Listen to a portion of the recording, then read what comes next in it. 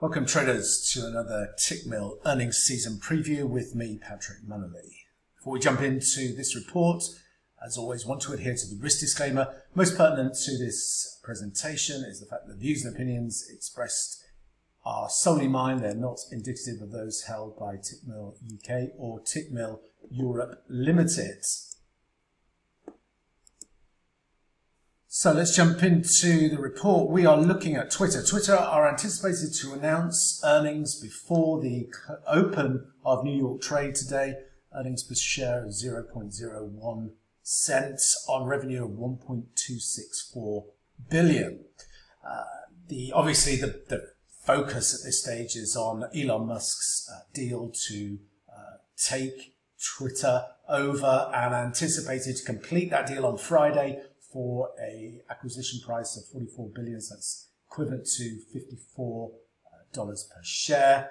Uh, some interesting dynamics developing, specifically with a Reuters report out this week saying that the top 10% of users who account for 90% of Twitter's earnings are known as heavy tweeters, and they have been in absolute decline since the COVID-19 pandemic started approximately two and a half years ago, according to that Reuters report.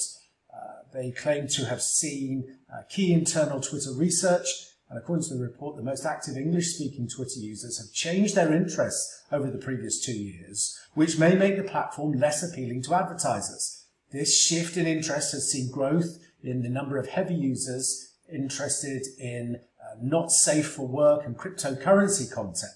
The English demographic is reportedly important for Twitter as the social platform generated more ad revenue from the US alone than all other markets put together in its most recent quarter. But Twitter declined to specify how many of its tweets are in English or how much money it makes from English speakers, according to the report. Now, why is this important? Well, it's important because in a video chat with debt bankers who are lending money to the deal, Musk reportedly pledged on Monday to close the deal for Twitter by Friday. The Reuters report came just days before Musk intended to close the deal. If the information in the report is found to be true and not yet seen by Musk, it would fuel worries that the platform would be even less profitable given Twitter's ad revenues account for a large portion of its total bookings. And obviously, we've seen with the likes of Alphabet and uh, potentially Meta later today that uh, ad revenues have been in decline and pressure also coming from those FX headwinds with that really strong dollar.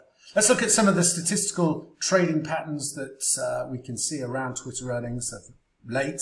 Uh, Twitter shares have moved higher in the immediate aftermath of earnings, 6 out of 12 previous reports. On average, the stock moved down 3.4% in the first day of trading after the earnings reported. Based on the previous 12 earnings releases, Twitter is more likely to trade lower one day after earnings for an average loss of 2.1%. Uh, On average, the stock has moved lower by 0.3% one week after earnings. From a volatility perspective, options traders pricing a 10.2% move on earnings. The stock has averaged a 9.5% move in recent quarters.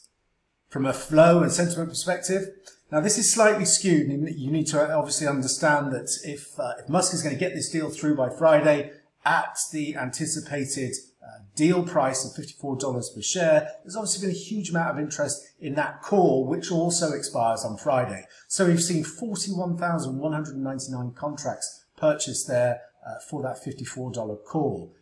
Prior to this, options order flow in general has been bearish. Twitter's share price has drifted up 32.5% post its prior earnings announcement. Again, that is skewed by this bid by Musk. Using the last 12 quarters of data, the average drift between earnings announcements is 6.8%. Let's pull up the chart and see where the potential trading opportunities are with respect to Twitter.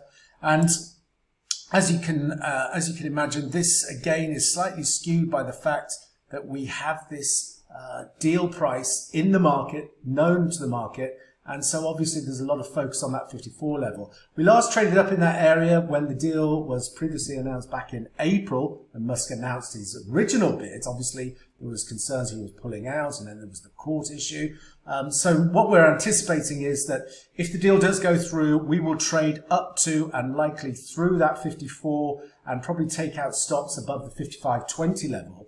It's then going to be a, a very interesting to see, do we get that buy the rumor, sell the fact dynamic. So I'll be watching for any bearish reversal patterns above that 55 level to engage on the short side, initially targeted move back down into the high volume node at $50.53.